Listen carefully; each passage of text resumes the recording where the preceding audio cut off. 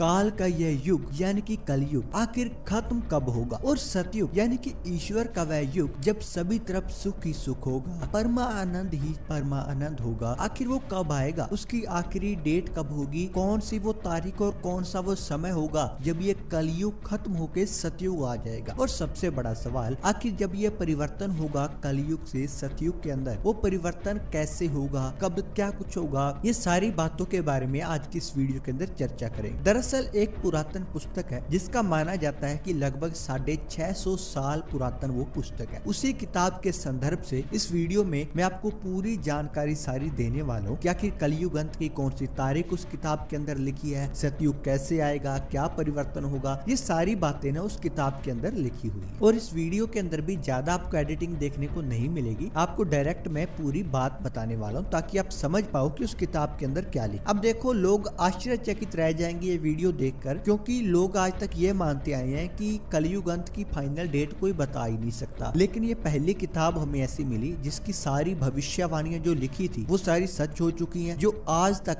यहाँ तक कि कल की दिनांक को लेकर भी जो बातें लिखी थी ना, कि जब जनवरी महीना खत्म होगा, तब ये होगा, वो बातें भी सच हो चुकी हैं। यानी कि इसके अंदर लिखी हर एक बात सच्चाई की शक्ल में तब्दील हो रही है। तो इसी किताब के अंदर पहले तो 2024 को लेकर एक बहुत बड़ी बात लिखी है, जिसको लेकर मैंने वीडियो भी डाली। उसके अनुसार ये माना जाता है कि साल 2024 के अंदर ना भारत का युद्ध होगा, चाइना या पाकिस्तान किसी देश के साथ। और जब पाकिस्तान के साथ युद्ध होगा ना, तब भारत उसके ऊपर परमाणु हमला तक करेगा। ये बात इस किताब के अंदर लिखी है। अब ये कितनी सच होगी, कितनी नहीं, चलिए ये तो भविष्य के गर्भ में छुपी बात है। लेकिन कलयुग अंत की तरफ़ बढ़ते हैं। तो इस वीडियो के अंदर पूरी इस बारे में चर्चा करेंगे। तो इस वीडियो को पूरा अंत तक देखना। सो हेलो, नमस्कार दोस्तों, स्वागत है आप सभी का। मेरा नाम है खुशदीप और आप देख रहे हैं के एस फैक्ट यूट्यूब चैनल। तो चलिए वीडियो शुरू करते हैं। तो पहले आपको बता दूँ कि अगर आप लोग इस वीडियो में दी गई जानकारी को पूरी लिखित रूप में पढ़ना चाहते हैं, व जानना चाहते हैं कि कब कौन सी घटना क्या होगी तो इसको लेकर हमने एक ई बुक बनाई हुई है, जिसका वास्तविक मूल्य तो सात सौ रूपए के आसपास है। लेकिन हम आपको मात्र तीन सौ रूपए में अभी दे रहे दो सौ निन्यानवे रूपए में उसका लिंक आपको इसी वीडियो के डिस्क्रिप्शन और कमेंट सेक्शन में मिल जाएगा तो वहाँ पर आप मेरे व्हाट्सएप पर आकर ये चीज़ें प्राप्त कर सकते हैं। और ये एक ई बुक है। तो चलिए वापिस बढ़ते हैं इस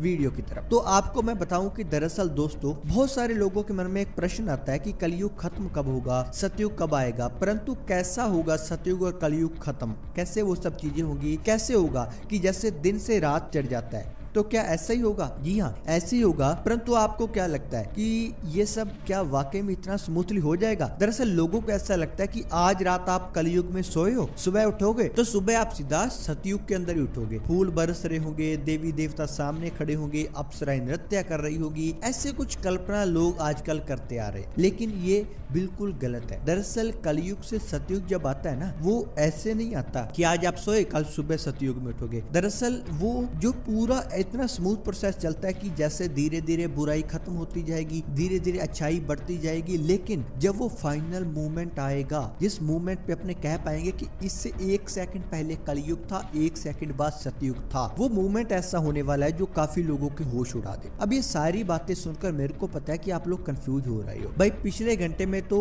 कलयुग था, ऐसा समय कभी आएगा और अगले घंटे में सतयुग आ गया तो कभी ऐसा समय तो आएगा नहीं धरती पे। तो इस बात को ना इस किताब के माध्यम से समझते हैं। दरअसल इस किताब के अंदर हमें एक वाक्य मिलता है, जिसके अंदर लिखा गया था कि ये चीज़ों का आभास मनुष्य को तब होगा जब पूर्णतः सतयुग आ चुका होगा। उससे पहले कलयुग को इस प्रकार समाप्त करा जाएगा कि लोगों को आभास होता चला जाएगा, लेकिन उन्हें पता नहीं चलेगा कि इस प्रक्रिया को क्या नाम दे। धीरे धीरे करके बुराई पूरे अपने प्रचंड रूप पे आती चली जाएगी, लेकिन बुराई फैलाने वाले लोगों का खात्मा भी होता चला जाएगा। अच्छाई खत्म होती हुई प्रतीत होगी, लेकिन अच्छाई फैलाने वाले लोग प्रबल भी होते चले जाएँगे। अब ये दोनों बातें सुनकर एक कॉन्ट्राडिक्शन पैदा होता नज़र आ रहा है। कि साथ में तो कहा जा रहा है कि बुराई खत्म होती चली जाएगी, साथ में कहा जा रहा है बुराई प्रबल होती चली जाएगी। साथ में कहा जा रहा है कि कलयुग के अंदर जब खत्म हो रहा अच्छाई बढ़ती चली जाएगी। साथ में कहा जा रहा है अच्छाई फैलाने वाले लोग खत्म होते चले जाएँगे। अब ये बातें इतनी कंफ्यूजिंग है तो सोचो जब कलयुग सतयुग परिवर्तन होगा, तब कैसा होगा? तो चलिए आपको एक थोड़ी टिपिकल लैंग्वेज में बताता हूँ। दरअसल ये जो समय है ना, इसको कहा जाता है संधि काल का समय। जैसे जब सूर्य अस्त हो रहा होता है तो कहीं सूर्य उदय भी हो रहा होता है है ना? जब रात के बाद दिन होता है तो एक जिसे ब्रह्म मुहूर्त कह देते एक समय आता है ना, जब चंद्रमा छुप रहा होता है, सूरज उग रहा होता है। जब रात होती है, सूरज छिप रहा होता है, चंद्रमा आ रहा होता है तो वो जब मध्य काल का सायकाल हम समय कहते हैं, सायकाल तो वैसा सा वो समय प्रतीत होता है, जब कलयुग से सतयुग के बीच में आता होता है ना? मतलब थोड़े घंटे का होता है, दो तीन घंटे का होता है, परंतु जब युग परिवर्तन की बात आती है ना, ये संधि काल का नाम इसे दिया गया ये थोड़े घंटे का नहीं होता, क्योंकि कलयुग लाखों साल का, हज़ारों साल चला सतयुग जो अगला आएगा वो हज़ारों साल चलेगा। तो इसी प्रकार जो संधि काल है ना, वो भी कई सालों तक चलता है। और धर्म ग्रंथों की माने ना तो वो जो संधि काल है, वो शुरू हो चुका है कब का? और वो अभी चल भी रहा है। ठीक है? तो आपको बताएँ कि दोस्तों, संधि काल में क्या हुआ?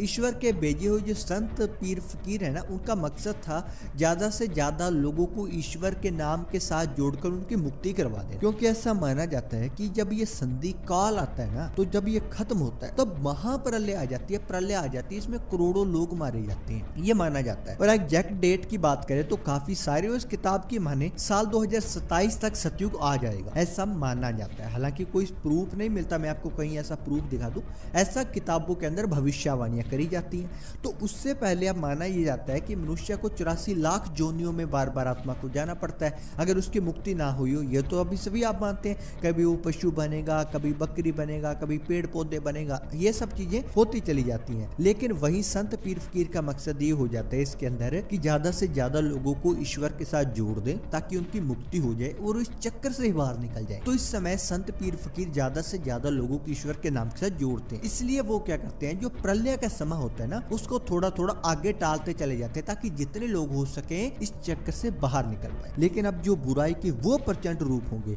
जो नहीं जोड़ेंगे ईश्वर के साथ, या जो अपनी बुराई फैलाते चले जाएँगे, ईश्वर के नाम को रोकने का प्रयास करते चले जाएँगे, फिर वो करोड़ों लोग इस युग परिवर्तन के चक्कर के अंदर फंस जाएँगे और वो कभी सतयुग के अंदर पहुँच नहीं पाएँगे और उनका खात्मा इसी युग के साथ हमेशा हमेशा के लिए हो जाएगा और वापिस इन्हें इसी चौरासी लाख जोनियों में वापिस चक्कर लगाने के लिए भेज दिया जाएगा। लेकिन चंद लोग होंगे जो सतयुग में प्रवेश कर जाएँगे और चंद लोग ऐसे होंगे जो बेशक उनकी मृत्यु भी हो जाए इसके अंदर, परंतु फिर वो जन्म मरण में नहीं पड़ेंगे। उनकी मुक्ति हो जाएगी, वो वापिस ईश्वर के अंदर जाकर समा जाए। तो ये था पूरा कॉन्सेप्ट जो इस किताब के माध्यम से हमें समझने को मिलता है कि युग परिवर्तन के समय क्या होता है, कैसे वो प्रक्रिया होती है। बाकी अगर आप पूरा और डिटेल में जानना चाहते हैं कि कौन सा युद्ध होगा, कैसे क्या होगा तो वो किताब मैंने आपको बताई उसके अंदर 2024 की ही भविष्यवाणी स्पेसिफिकली लिखी हुई है। डिस्क्रिप्शन में कमेंट सेक्शन के अंदर आपको लिंक मिलेगा, उसके ऊपर क्लिक करके आप खरीद सकते हैं। दोस्तों, आज की वीडियो में इतनी आशा करते हैं आपको जानकारी पसंद आई होगी। मिलता है नेक्स्ट वीडियो में, तब तक के लिए रब रखा।